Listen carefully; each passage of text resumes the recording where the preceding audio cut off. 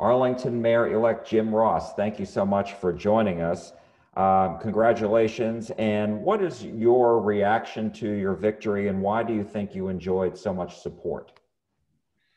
Uh, my reaction is I'm thrilled and I'm honored uh, that we've gotten so so many supporters come out and vote for us, both in the main election and in the runoff. Um, I think I enjoyed that kind of support is because of my life experiences. I think I'm I'm I'm very relatable to the average citizen here in Arlington. I I um, I grew up inner city. I came to Arlington in '83 with no education, right out of the Marine Corps. I went to TCJC, which is now TCC, and UTA and Dallas Baptist. I didn't get my undergrad till I was 35. I was a police officer here. I I came through those roads that give us a tremendous amount of life experiences, and I think people appreciate that and they can relate to it. And do you think you have a mandate? I mean, when you were out campaigning, what were voters telling you they wanted to see? You know, the vast majority of the voters love the direction Arlington has taken under Mayor Jeff Williams.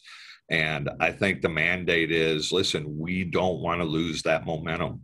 We want to keep growing. We want to keep getting bigger and better and and getting to the next level. And I think that's that's what I hear from the vast majority of the voters here. And so does that entail really just uh, making sure that the plans to expand the entertainment district are, you know, they're executed properly?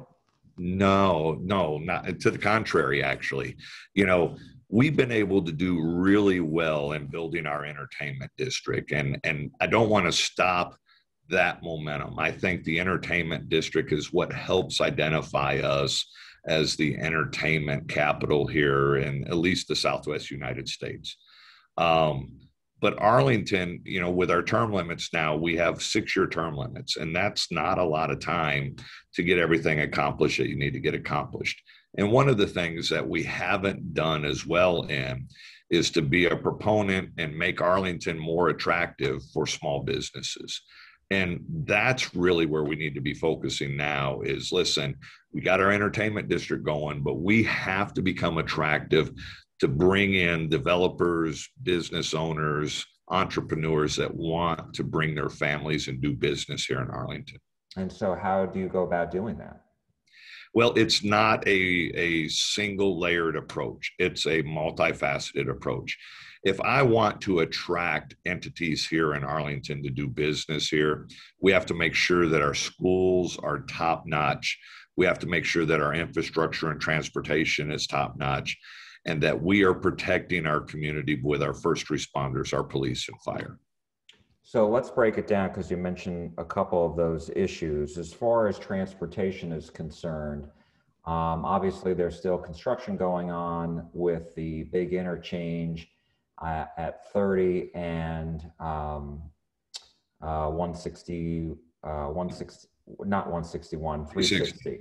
Yeah. So um, I'm just wondering, you know, that should help, uh, I would imagine, with some of the traffic, uh, right? But what else are, do you think the city needs to look at?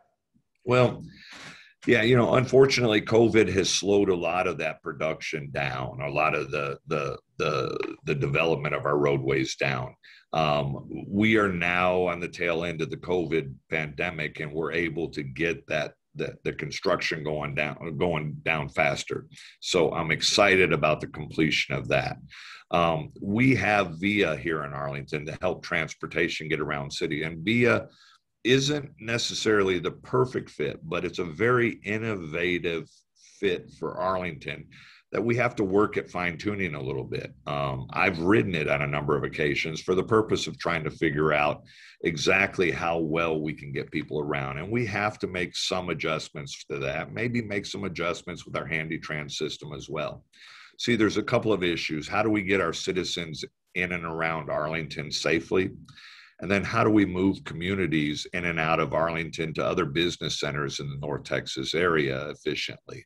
And those are really two separate things right now because VIA is limited to within the city limits itself. And uh, and that's something that the city pays for and which people can call up VIA? Yeah, I mean, it's a privately held company and the city helps subsidize that company. And people can call up VIA and get rides, and you can get rides for $3 any, any one way trip to anywhere within the city. There, it does have its limitations. It's not a portal to portal type of transportation system. In other words, you're not going to have it like a, uh, a Lyft or a Uber or something like that, where they're going to pick you up right at your front door. So they may, you may have to walk a block or two to get to where they can pick you up, and same thing when they drop you off. Um, and it is a ride share system as well, so that you may end up in a in a van with one or two other people.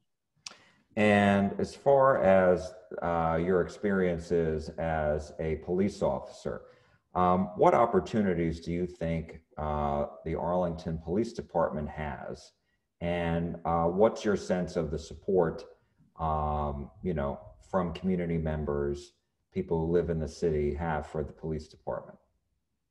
You know, I have enjoyed a wonderfully good relationship with the Arlington Police since my early days as a police officer in 1983. That does not mean that my relationship with the police do not allow me to understand or empathize that there are a number of social issues that need to be addressed in every major city in this country. In fact, I think it's just the uh, contrary to that. I think it ena- enables us to address those issues more appropriately. And I think if you poll the police officers, you're going to find that police officers have the same type of understanding and they want the relationships with the community to get better. It was tough during the pandemic because one of the ways that we improve those relationships is being close with our neighborhood policing and our community based policing. And when you're in a lockdown and a pandemic, you're not able to do those type of things. You and I are still speaking on Zoom for convenient purposes right now, but how how long have we been doing Zoom meetings? It's now become second nature to us. But it doesn't enable us to develop that relationship that is so necessary to get in our community to a real safe environment. You know, what citizens in Arlington are really entitled to is transparency in their government, whether it's the fiscal transparency, whether it's the uh, police transparency. People need to have an understanding that we're doing everything in our power to take care of them. And that's one of the things that we really have to focus on. So I'm hoping my experience as a police officer, my experience in being undercover and buying drugs on the streets of this city for years will help me help it pay off and developing a much better understanding. Uh, what else do you hope to accomplish? Well, Lord, jobs, jobs, and more jobs. That's one of the biggest things. There is we gotta we got to get back um, our ability to be attractive to industry who wants to come here and bring their employees here and establish their businesses here in Arlington. We do that by, like what we talked about, improving our educational systems here, improving our infrastructure, and keeping our first responders real safe. It's not an overnight task. It's not something that is done easily. Um, but uh, I'm excited to get busy on it because I think uh, I know how to bring the jobs. I, I, employ almost 100 people here in the city myself with my various businesses. I know what it's like to have to meet payroll every other week and have to take care of people who are taking care of their families. So I get it. And it's critically important that we do that. And in order to do that, we have to make our schools better, our roads better, and our, our police and fire better. And uh, you own uh, the law firm in which you are sitting at now, where, where we're talking. And then you also own a restaurant, is that right? I do. I own a uh, fine dining steakhouse in Arlington as well. All right. And, and so let me ask you one other question. Um, you said something the other night that, that struck me, uh, and that was that you never really planned on running for mayor, but when you didn't see anybody else step up who you could support, you decided to throw your hat in.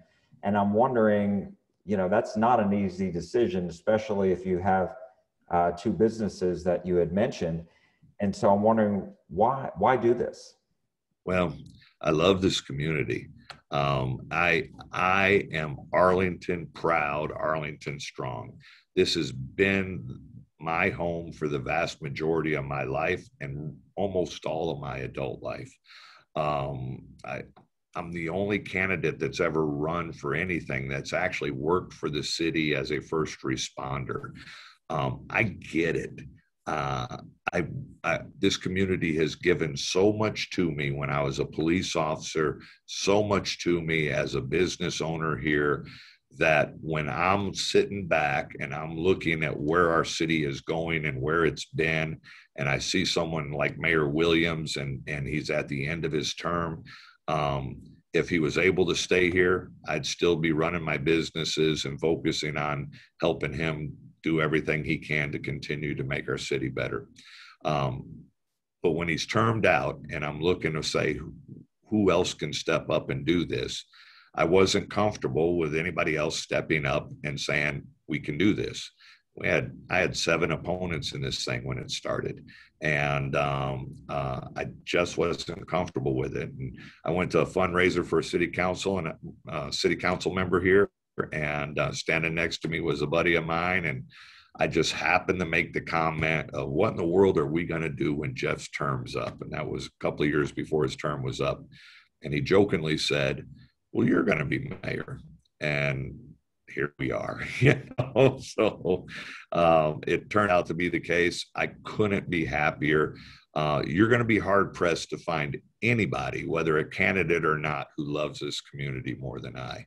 I am seriously biased when it comes to this city, and uh, I'm looking forward to doing the best I can by the city. Arlington Mayor-elect Jim Ross, thank you so much for your time and congratulations again. Thank you, Jack. I appreciate you. Have a great day.